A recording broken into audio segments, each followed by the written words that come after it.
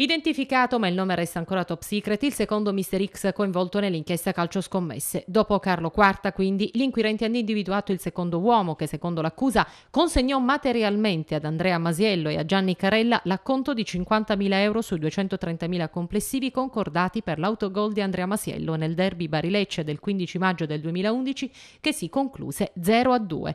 Quella rete causò la sconfitta in casa dei biancorossi e soprattutto la permanenza del Lecce in Serie A. Secondo quanto ipotizzato ipotizzato dalla Procura di Bari, la consegna del denaro avvenne in due occasioni. Al primo incontro nell'Hotel Tiziano di Lecce il 22 agosto 2011 erano presenti Masiello, Carella, Quarta e il suo socio. Era invece assente l'altro loro presunto complice arrestato e ora ai domiciliari Fabio Giacobbe. I due sono stati identificati nel corso degli interrogatori resi dai tre arrestati nel carcere di Bari e sono stati definiti come vicini a Pierandrea, figlio del patron del Lecce, Giovanni Semeraro. Intanto a Bari durante la conferenza stampa il capitano biancorosso Francesco Caputo Caputo si dice amareggiato per la vicenda nella quale è coinvolto il suo ex compagno di squadra Masiello.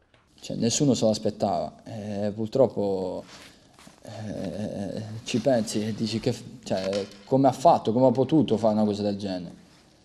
Purtroppo sono cose che ti passano per la mente, però non, non ti sai dare mai una spiegazione, perché sono cose che comunque fanno male eh, se ci pensi ci stai pure male perché comunque sono stati tuoi ex compagni alla fine, tra virgolette.